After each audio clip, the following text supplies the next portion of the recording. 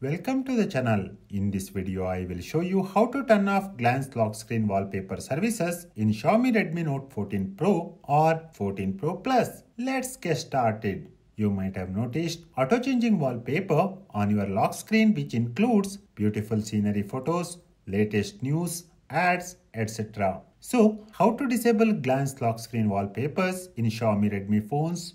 Here is the solution. To begin, head over to Settings. Scroll down. You will find Lock Screen. Tap on it. On this page, choose Glance for MI.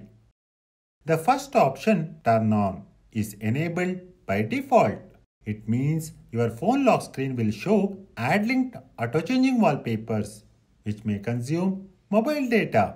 So, to remove glance wallpaper services, toggle off this switch. This will stop glance in Xiaomi phones. Now, if you go to the lock screen, you will see regular wallpaper instead of ad-link wallpaper services. That's it for this video on how to disable glance wallpaper services in Redmi Note 14 Pro or 14 Pro Plus 5G. Thank you for watching this video. Please hit the like button and subscribe to the channel if you find this video informative.